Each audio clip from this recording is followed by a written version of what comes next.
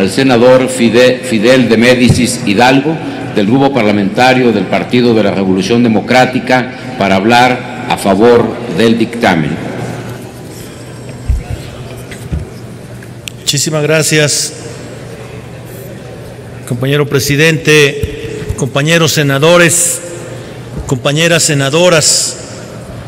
Sin duda que el dictamen de las Comisiones Unidas de Trabajo y Previsión Social y de Estudios Legislativos Primera es un tema de altísima relevancia porque las luchas para la reivindicación de los derechos laborales y de los derechos humanos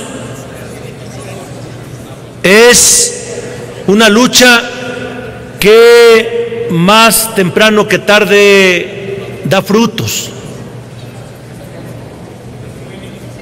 Y hoy el Senado de la República está mandando un mensaje a los que están en el fondo del sufrimiento humano por su condición de personas con capacidades diferentes.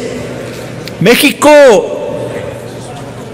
casi siempre ha arribado tarde en estos temas, pero dice un dicho popular, más vale tarde que nunca.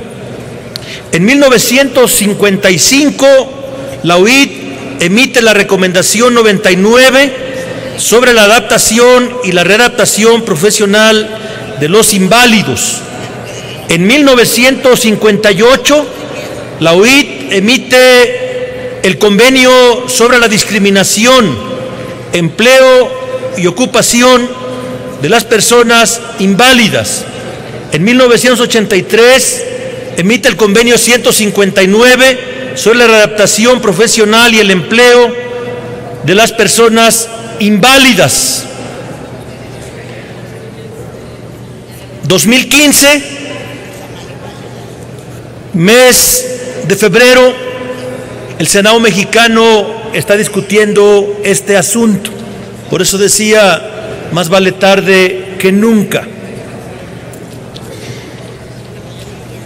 Es importantísimo que conceptos como el trabajo digno o decente no solo se aplique a las personas con algún tipo de discapacidad, sino que pueda ampliarse a todos los trabajadores